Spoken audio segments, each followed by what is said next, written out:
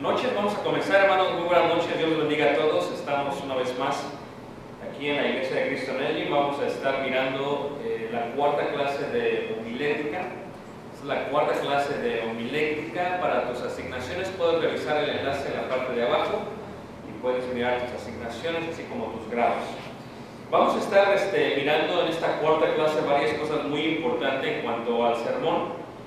Ya hemos visto una vez más eh, la importancia de orar. También ya hemos visto la importancia de encontrar un propósito. Hemos visto también la importancia de encontrar un texto que apoye tu propósito. Y hemos visto también la importancia de encontrar un tema. Estas son las cuatro cosas que ya hemos visto. Hoy continuamos, sin lugar a dudas, y hoy vamos a empezar y a continuar con lo que se llama el bosquejo del sermón. El bosquejo del sermón. Eso es lo que vamos a ver el día de hoy. Podemos ver algunos términos o algunos sinónimos en cuanto al bosquejo.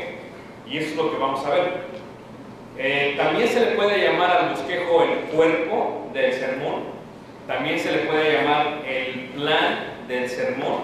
También se le puede llamar el esqueleto del sermón. Esto es, si usted recuerda la clase pasada, lo que veíamos es que el tema es la cabeza el bosquejo viene a ser el cuerpo total del sermón.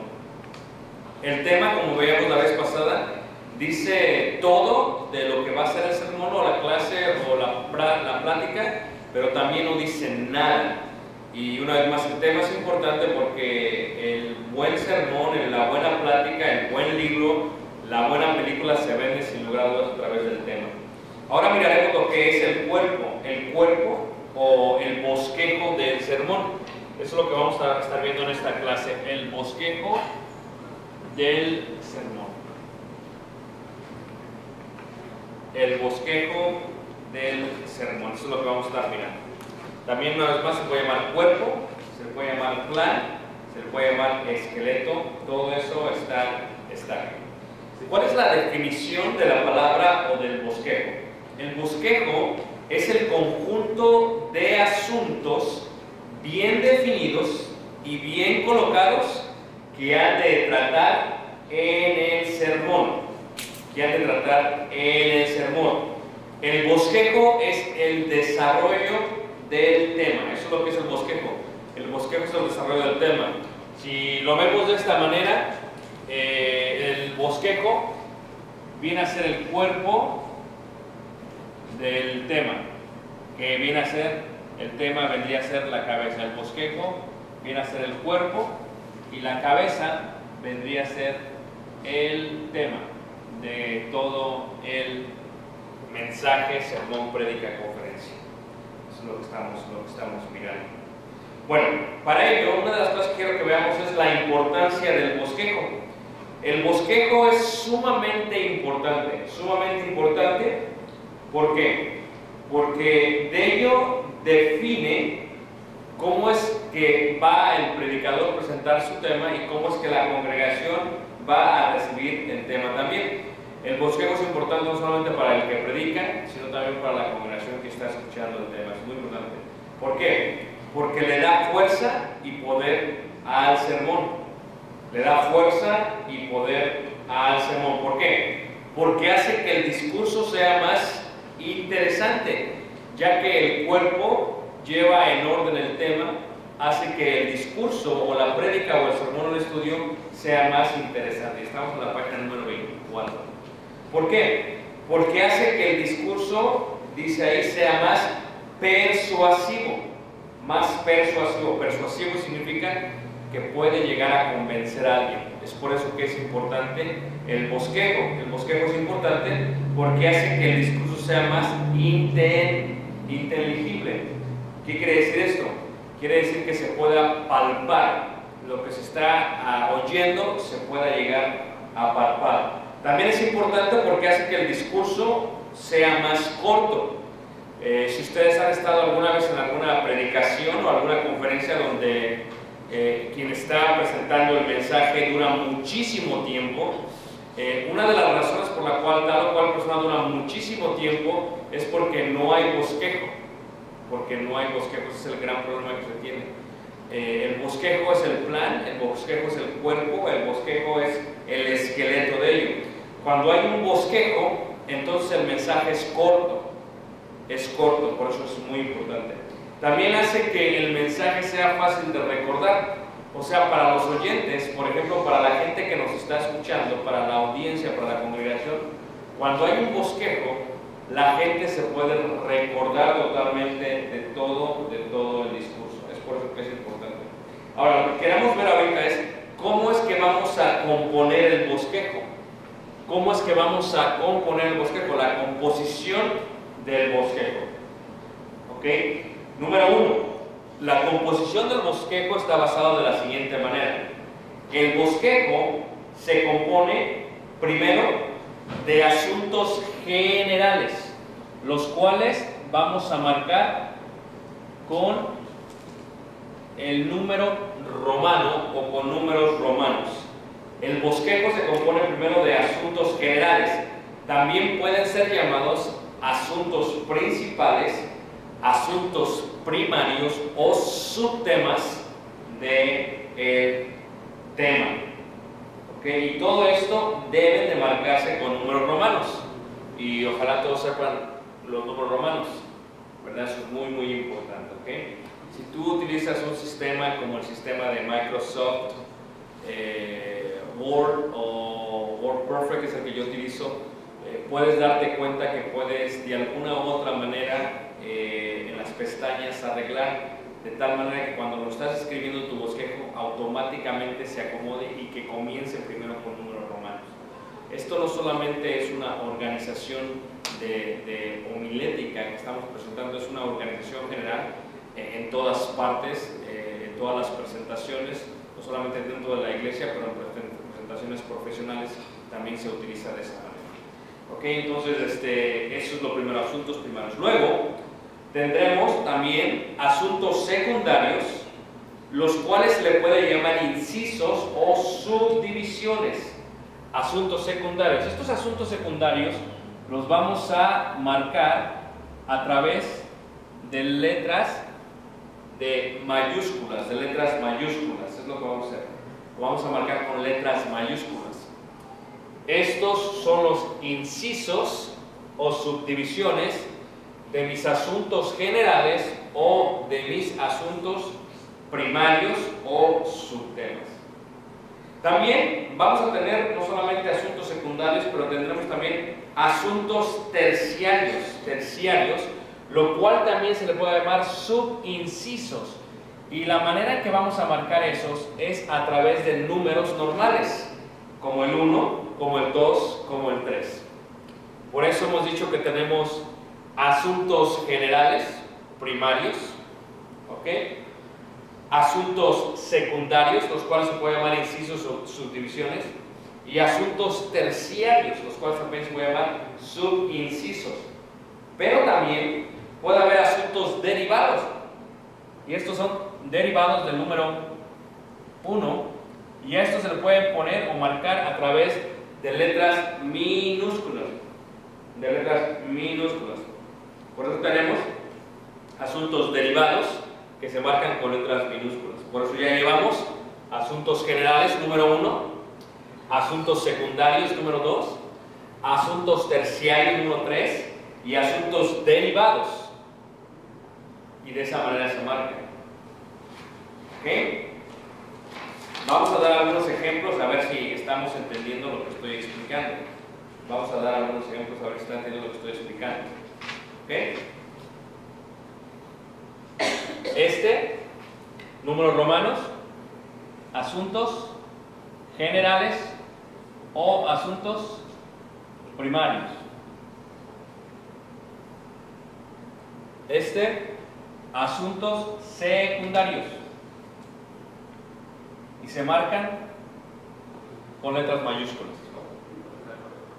Este, asuntos terciarios y se marcan con números normales. Y este, asuntos derivados. Y se marcan con letras minúsculas. Por eso tenemos letras mayúsculas, ah, perdón, números romanos para los primarios, letras mayúsculas para los secundarios, letras, números normales para los terciarios y minúsculas para los derivados. Eso es lo que tenemos. ¿Okay? Ahora, vamos a entender todavía esto un poquito mejor, a ver si se entiende esto mucho, mucho mejor. Voy a dar algunos ejemplos para ver si estamos comprendiendo esto. Y lo que vamos a hacer ahora es que vamos a empezar a formar un bosquejo o plan o cuerpo o esqueleto o esqueleto. ¿Listos? El tema se va a llamar el origen de la Biblia. Es el tema de, mi sermón, de mi prédica, de, de mi conferencia. El origen de la Biblia. Mi primer asunto del origen de la Biblia va a ser quién la escribió. ¿Quién la escribió? Dentro de quién la escribió, mi asunto secundario va a ser Dios, Dios, y otro asunto secundario que voy a tener también va a ser 40 hombres, 40 hombres. Este es mi primer asunto general o primario, el cual tiene dos incisos. Uno es Dios, otro es 40 hombres. Ahora, bajo mi asunto secundario tendremos un asunto terciario. Y ahí está. ¿Quién la escribió? Dios. Número uno, directamente. Número dos, indirectamente. Esta es una de las mejores formas en las que se me presentó a mí este tema para, para poderlo entender mucho mejor. Voy a explicar.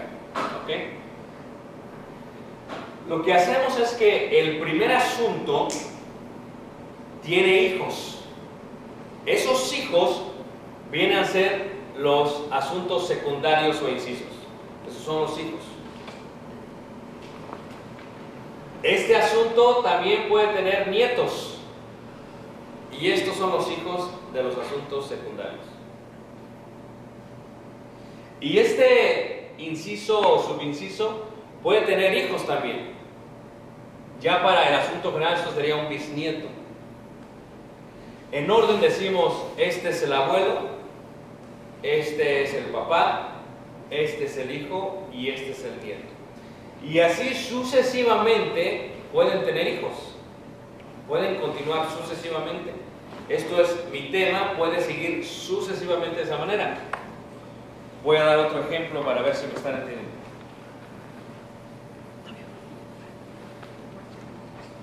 ¿Listos? Voy a dar otro ejemplo a ver si me están entendiendo. Mi tema va a ser la iglesia. la iglesia.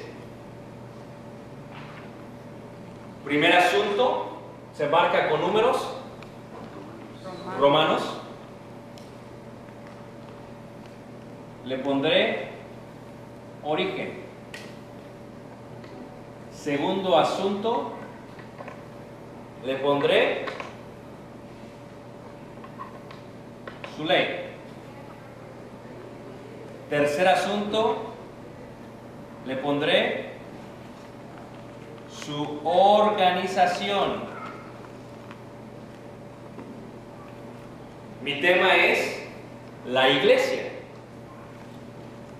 Mis asuntos generales o primarios son origen de la iglesia, ley de la iglesia, organización de la iglesia. Ahora, cuando vemos origen, vamos a sacarle nietos al tema. Vamos a sacarle hijos a este asunto secundario o vamos a sacar asuntos terciarios. El origen, el origen. ¿Cómo se marcan los incisos? Con letras mayúsculas. Podemos decir entonces A, origen. antes de la creación. Origen. antes del Antiguo Testamento.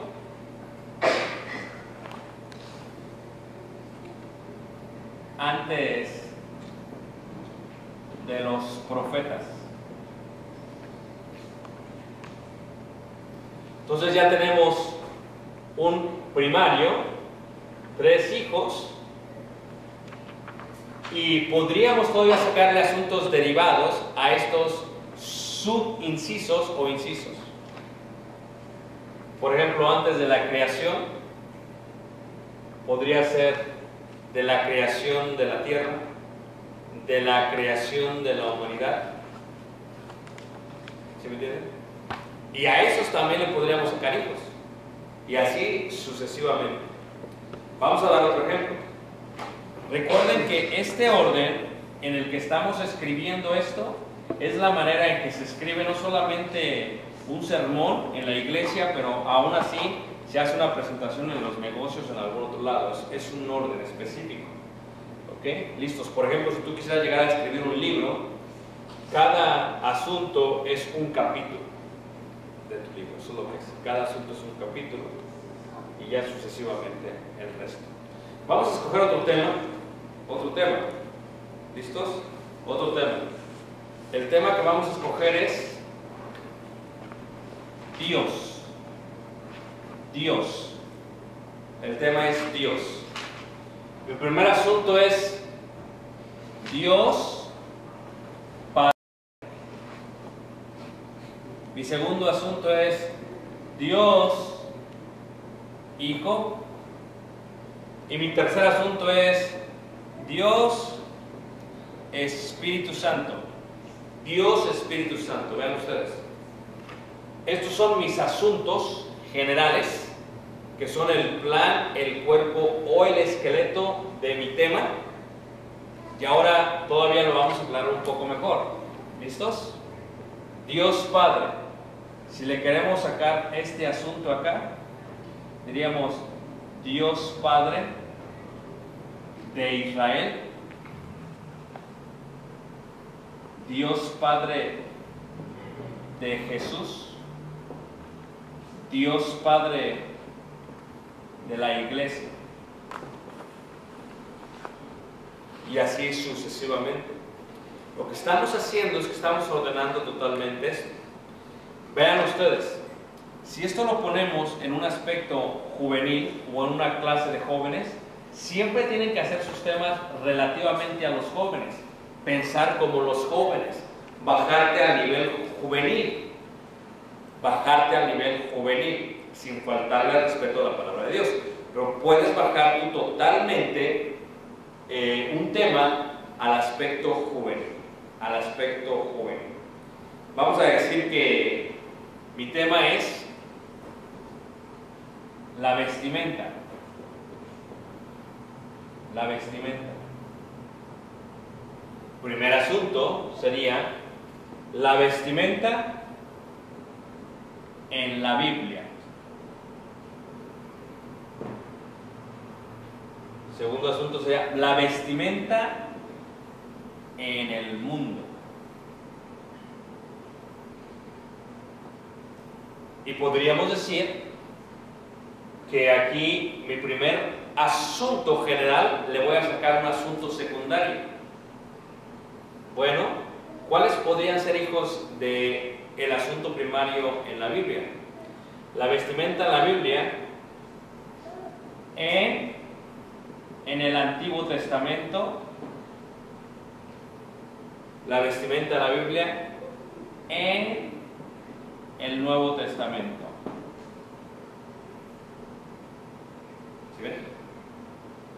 A eso les va a interesar a los jóvenes, porque siempre se andan preguntando qué se pueden y qué no se pueden poner. Ahora, cuando desarrollamos el segundo tema, el segundo inciso, perdón, el segundo ah, asunto general o asunto primario, decimos lo siguiente. La vestimenta en el mundo, primero, occidental, occidental. Porque ustedes están de acuerdo que uno se viste totalmente distinto eh, en el occidente, ¿no lo ven ustedes? Que en otro lado. Y así sucesivamente. Entonces lo que les quiero decir es que puedes aplicar una forma juvenil, en una forma juvenil, lo puedes hacer en una forma de niños, para los niños, para los niños. ¿Ok? Para los niños. El tema es un niño, un niño ejemplo. Un niño ejemplo. ¿Ok? Mi primer asunto, ¿qué es, ¿qué es un niño ejemplo? Tienes que empezar a preguntar, ¿qué es un niño ejemplo? Un niño ejemplo, un niño ejemplo es un niño responsable. Un niño obediente. Un niño responsable y un niño obediente. Eso es un niño ejemplo. Pero luego ya podríamos decir cuáles serían los hijos o los incisos de mi primer tema, de mi primer asunto real. Un niño responsable en la casa. Un niño responsable en la escuela. Un niño responsable en la iglesia. Y ya puedes todavía detallarlo más. ¿Cuáles serían los hijos en la casa? Un niño responsable en la casa, en su cuarto. Un niño responsable en la casa, en la cocina. Un niño responsable en la casa, en la sala. Un niño responsable en la casa, con el televisor. Un niño responsable. Y ya todavía lo puedes añadir más. Un niño responsable en la casa, en el cuarto, con su cama. Un niño responsable en la casa, en su cuarto, con sus juguetes, etcétera, etcétera, etcétera. O sea que esto lo puedes añadir hasta lo más que puedas. Por eso, lo que sucede cuando nosotros hacemos, por ejemplo, una serie, cuando hacemos una serie para la iglesia, lo que hacemos es que una serie es un gran sermón con muchísimos asuntos primarios o generales, con muchísimos asuntos eh, secundarios. Por ejemplo, yo el tema que estoy dando ahorita que ya casi acabo se llama el ministerio de Jesús. El ministerio de Jesús. Y hablo, por ejemplo, en el ministerio, primer capítulo, segundo capítulo, tercer capítulo. Uno es los milagros de Jesús. Otro es los tiempos del fin. Otro es la última semana, que es la que estamos viendo ahorita. Pero la última semana de Jesús tiene como asunto, inciso, es lunes, martes, miércoles, jueves, viernes, sábado, y ahorita estamos en la resurrección. Entonces, la última semana de Jesús. ¿Se fijan? Y eso es un gran sermón que se va desarrollando poco a poco, poco a poco. Debemos entender que debe de haber cualidades para estos asuntos que estamos sacando. Cualidades para estos asuntos. No nada más eh, ahí voy a poner lo que sea. Tiene que haber cualidades que son muy importantes estas cualidades. Debemos saber que hay cualidades para los asuntos, muy importantes. Cualidades para los asuntos. Por ejemplo, una de las cuales es que los asuntos primarios deben proceder del tema.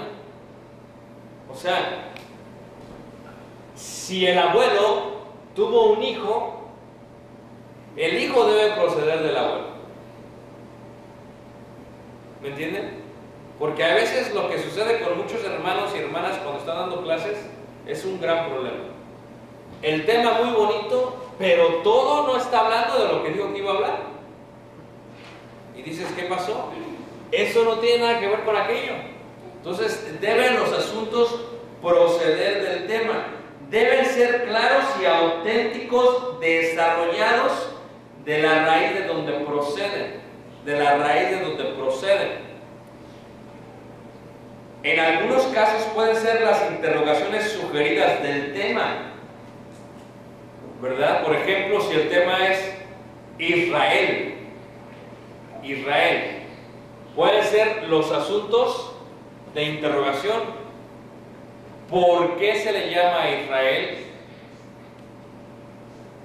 Dónde vivió Israel, cuántos hijos tuvo Israel, y eso viene a ser los asuntos que primarios. Y deben tener una idea singular cada uno. Una idea singular cada uno. ¿Ok? Una idea singular cada uno. Por ejemplo, por ejemplo, veremos, denme un tema a ustedes que piensen, cualquier tema que se les venga a la mente rápidamente. El predicador. El predicador, ese es mi tema, el predicador. Ahora, ¿le vamos a sacar hijos al predicador? Al tema, ¿ok? Listos. El predicador. Vamos a hacerlo en forma de preguntas. Todos los asuntos en forma de preguntas. ¿Listos? En la casa. Bueno, pero la pregunta sería, ¿en la casa es una pregunta? El predicador en la casa. ¿Ok? No, porque lo vamos a hacer bajo preguntas, fíjense. ¿Tiene derechos el predicador? Mándale. ¿Tiene derechos el predicador? Fíjense la pregunta, ¿tiene derechos? Muy bien, número uno, ¿tiene derechos? ¿Puede cualquiera ser predicador?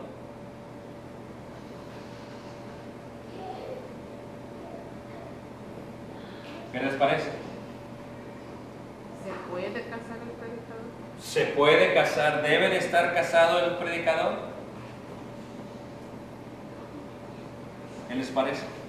Ahora, este el tema es el predicador y las preguntas o los asuntos que no están basados en preguntas. Pero mira, ¿tiene derechos el predicador? Ahora vamos a sacarle hijos a ese.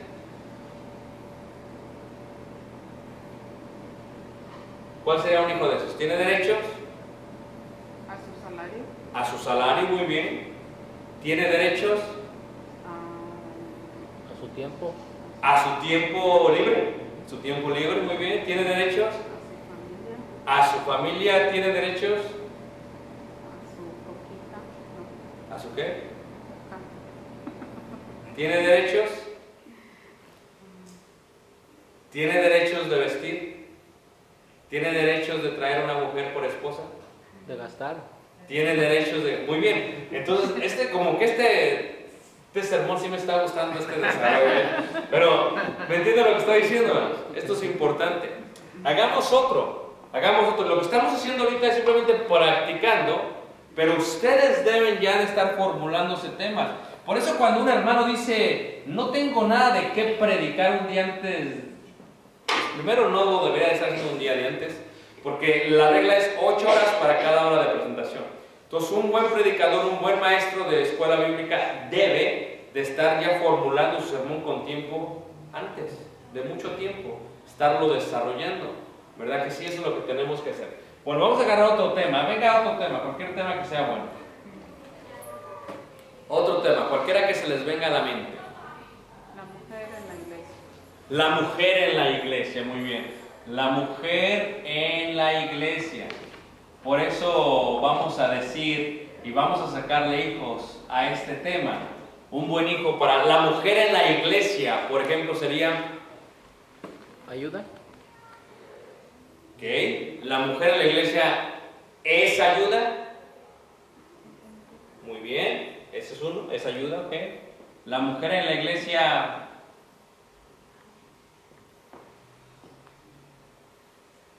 ¿Es igual al hombre?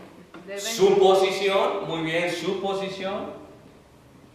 Su posición. ¿A quién debe enseñar? La mujer en la iglesia, su función, muy bien, su función. ¿Ok? ¿Sí ven? Es ayuda. La mujer en la iglesia es ayuda. Pues es ayuda. Es ayuda la organización.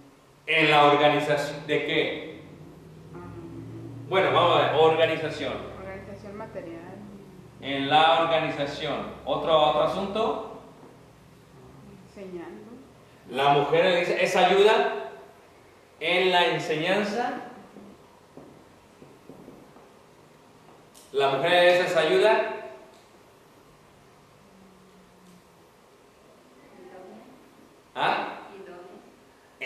en el matrimonio, muy bien. En el matrimonio. Recuerden cuando estamos haciendo esto, lo que queremos es que para la gente se le haga fácil recordar, fácil recordar. Entonces, tenemos que hacerlo de tal manera que lleve un orden. En la organización, en la enseñanza, en el matrimonio, la gente se va acordando. Okay. Son la mujer en la iglesia, es ayuda. La mujer en la iglesia, su posición, la mujer en la iglesia, su función. Entonces, ¿qué pasa? Como buen predicador o maestro bíblico, tú ya te los memorizas, ya sabes de lo que vas a hablar. Pero si están todos revueltos en tu mente, pues van a estar todos revueltos también en otra parte.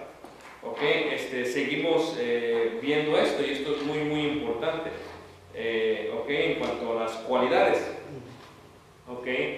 Una vez más, deben proceder del tema, deben ser claros y auténticos, pueden ser interrogaciones y deben de tener una idea singular. Una idea singular. Un ejemplo también que se nos da aquí es, por ejemplo, la oración. La oración.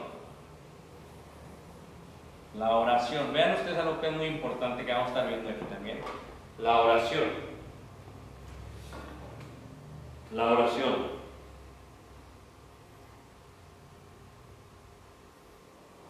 Se puede hacer una pregunta para desarrollar los asuntos primarios. La pregunta sería, ¿cómo orar? El tema es la oración. Y la pregunta que va a definir, en este caso, tu propósito a través del sermón, es cómo orar. Por eso el consejo es orar sin cesar. Orar en todo tiempo. Orar constantemente. ¿Y cómo se llamó mi sermón? La oración. ¿Y cuál fue mi pregunta de proposición? ¿Cómo orar? Por eso, orar sin cesar. Orar en todo tiempo. Orar constantemente. Y ese es el sermón que se llama la oración. La oración. ¿Ok? La oración. ¿Cómo orar? La oración. La cantidad de los asuntos. Bueno, aquí sí quiero decirles que no deberían de tener, ¿ok? Mínimo dos.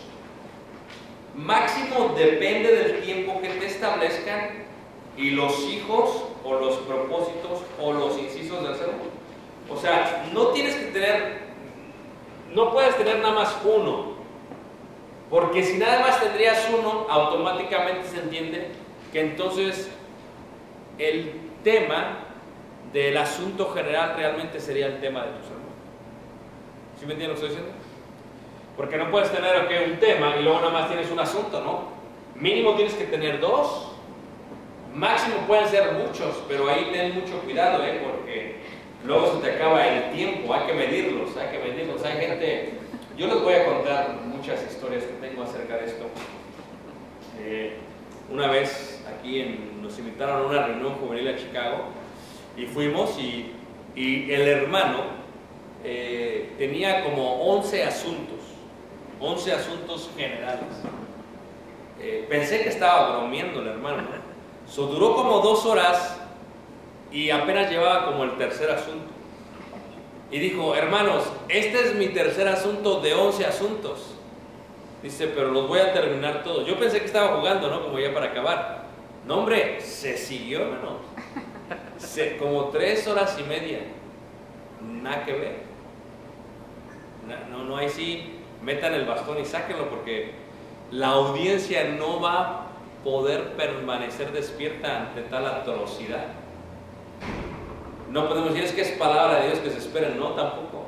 Porque la idea de homilética es ordenarse apropiadamente. Por eso, recuerden eso. Recuerden eso. Ahora, los asuntos, una de las cosas que vamos a comprender y que vamos a entender es que primero tienes el tema.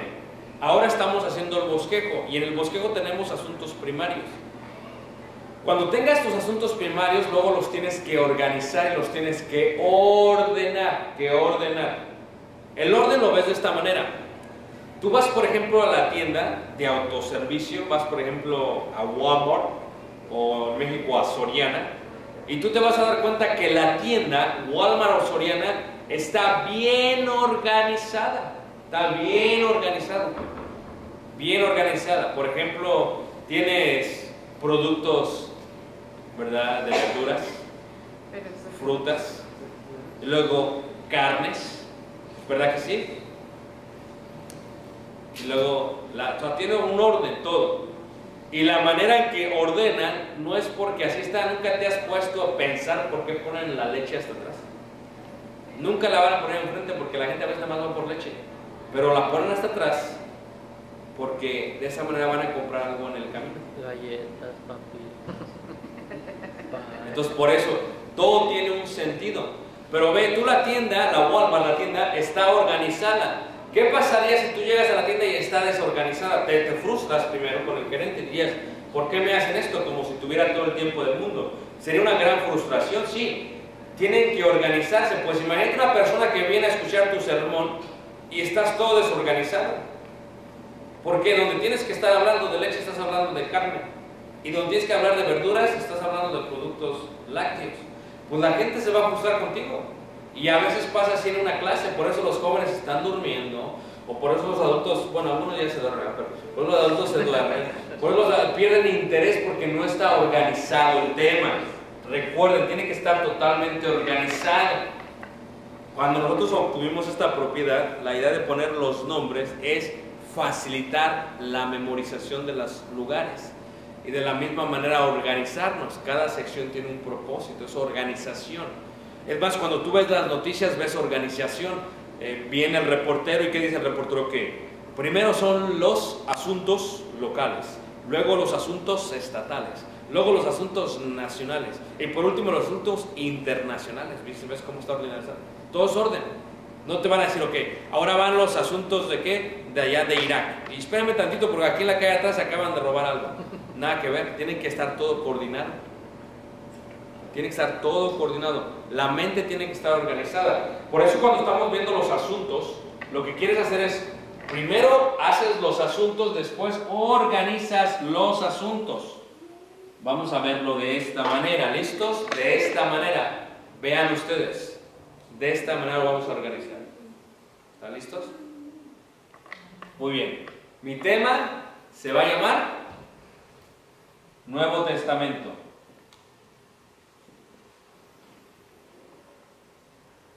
Ese es mi tema, Nuevo Testamento. Ahora, vamos a sacarle asuntos primarios, asuntos generales al Nuevo Testamento. ¿Listos? Díganme un hijo del Nuevo Testamento. En cuanto a los libros. Un hijo. Evangelio. ¿Los evangelios? Evangelios, muy bien. Evangelios es un hijo, muy bien. Díganme otro hijo. Historia. Historia, muy bien, historia. Díganme otro hijo. Las cartas de Pablo. Ah, ok. Les llamamos las cartas paulinas. Muy bien, muy bien, está bien. Se la pasamos. Díganme otro hijo. Revelación. Ok. La profecía, ok. Díganme otro hijo. Carta de Juan. Las cartas juaninas. Juaninas. Juanino.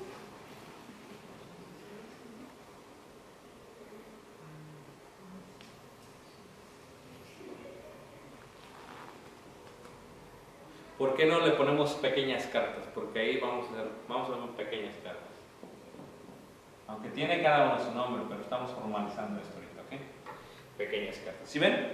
Ya tenemos hijos o asuntos primarios de nuestro tema principal. Ahora, aquí el secreto es que una vez que tú tienes tus hijos primarios, los tienes que organizar. Los tienes que organizar para que cuando el hermano o hermana entre a tu sermón, a tu tienda, compre las cosas en sus lugares apropiados y no lo vayas a marear. Por eso se nos duermen, hermanos. Unos porque no tienen vergüenza, pero se nos duermen otros ¿por? Porque no estamos organizados. A veces la culpa de nosotros. Además, yo podría decir que el 80% es nuestra culpa del que predica. El 20% de los que se duermen. ¿ok? Vean ustedes. Podríamos decir entonces que tenemos estos asuntos ahora, vamos a ponerlos en orden. Si lo vamos a hacer en orden Cronológico. cronológico, entonces tendríamos un problemilla. Pero vamos a hacerlo en orden cronológico. Vamos a ver. ¿Cuál sería para ustedes el primer asunto? Evangelios. Evangelios. ¿Qué mano Rigo dice evangelios? ¿Cómo se marcan los asuntos primarios? Con Romanos. romanos. Números romanos. Primer asunto. Segundo asunto. Con mayúsculas. No, pero asunto primario. ¿Cuál sería? Bueno, Nuevo Testamento es el tema. Historia, muy bien. Segundo es historia. Tercer asunto. Paulina. ¿Ok? Cuarto asunto. Las chiquitas, las cartas. Pequeñas Pequeñas cartas. Pequeñas cartas. Quinto asunto. profecías. Muy bien, si se, sí se fijan hermanos, acabamos de organizar nuestros asuntos. So, cuando tú estás haciendo un bosquejo, primero sacas los asuntos primarios o generales y luego de sacarlos, no los pongas en orden, ¿eh? Todavía. Primero los escribes así como estamos haciendo ahorita y después los pones en orden. Y así los vas a ir acomodando. En este caso se hace el asunto en forma, o el arreglo en forma cronológico. Pero quiero decirles que a veces cuando estás haciendo tu, tu, tu- tu estudio, sermón, lo que tienes que considerar es el tamaño del asunto. Porque a veces el tamaño del asunto va a ser muy grande. Y un reglamento que yo trato de seguir en mi homilética es que el primer asunto, el tamaño del asunto es pequeño, el segundo asunto, el tamaño es más grande y el tercer asunto es el más grande. ¿Por qué? Porque si lo haces al revés y pones como primer asunto el más grande, ya vas a perder totalmente la atención de todos y te va a acabar el tiempo. Pero si lo llevas así, lleva un orden correcto y la gente se mantiene que despierta.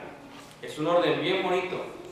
Vamos a hablar primero de los evangelios, hermanos. ¿Y cuáles serían los hijos de los evangelios? Mateo, Marcos, Lucas, Juan. Ahí están los hijos. ¿Cuáles serían los hijos de la historia?